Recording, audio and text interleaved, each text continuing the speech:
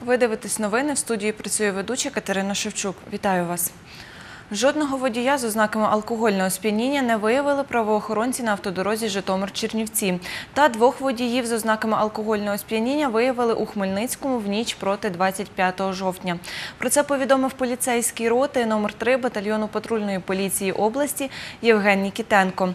В обласному центрі правоохоронці зафіксували дві дорожньо-транспортні пригоди з потерпілими. Патрульні зафіксували більше 40 випадків порушень правил дорожнього руху. На службу 102 надійшло 45 викликів. За минулу ніч, повідомляє чергова акушерка приймального відділення Хмельницького перинатального центру Юлія Кирилюк, народилося семеро дітей. Три хлопчика та дві дівчинки. Найбільша вага малюка 4 кілограми 150 грамів, найменша 2 кілограми 460 грамів. На реалізацію проєктів регіонального розвитку виділено перші 35 мільйонів гривень. Про це повідомила заступниця начальника управління регіонального розвитку та будівництва Хмельницької обласної державної адміністрації Світлана Пасічник. Загальна сума становить понад 57 мільйонів. Визначали, що це поганий проєкт, а це хороший проєкт. Визначали, чи він дійсно потрібен регіону, чи якісь певні території, чи місту, чи селу, чи він дійсно розроблений в рамках того е, тих форматів, які завдані.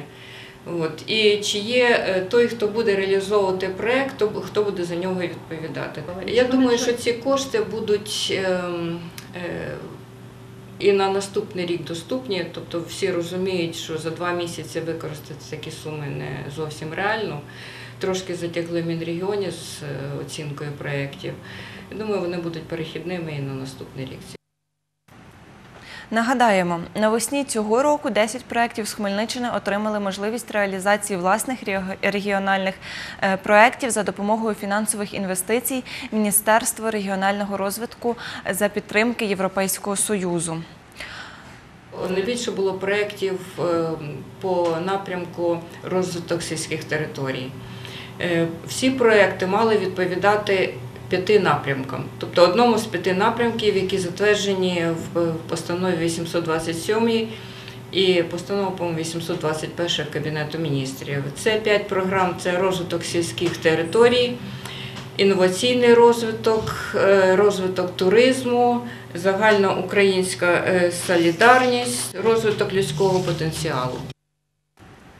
Сьогодні в Хмельницькому відбудеться перша зустріч другого туру чемпіонату України з баскетболу серед жіночих команд вищої ліги. О 19-й годині в спортивній залі Хмельницького політехнічного коледжу баскетбольного клубу е, баскетбольний клуб Хмельницький прийматиме суперниць із Рівненської області спеціалізованої дитячо-юнацької спортивної школи Олімпійського резерву.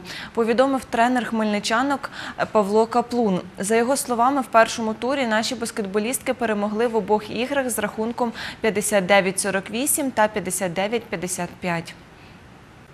Сьогодні і ввечері та завтра ми граємо з БК Рівне. Нам важко сказати, який склад привезе ця команда на наші ігри, тому що в них основна команда грає в суперлізі. Будемо мати надію, що буде все ж таки суперництво у нас з ними рівне. І вийдеться захоплюючим матчі. І буду дуже задоволений, якщо наші хмельничани прийдуть нас і підтримують. Будь ласка, на 19 годину Хмельницький політехнічний коледж. БК Хмельницький та дівчата чекають на вашу палку підтримку. Нагадаємо, жіночий баскетбольний клуб Хмельницький створили цього року. Тому, каже тренер команди, завдань перед гравцями за цей сезон не ставлять. Як під час їжі до тебе приходить наснага, натхнення.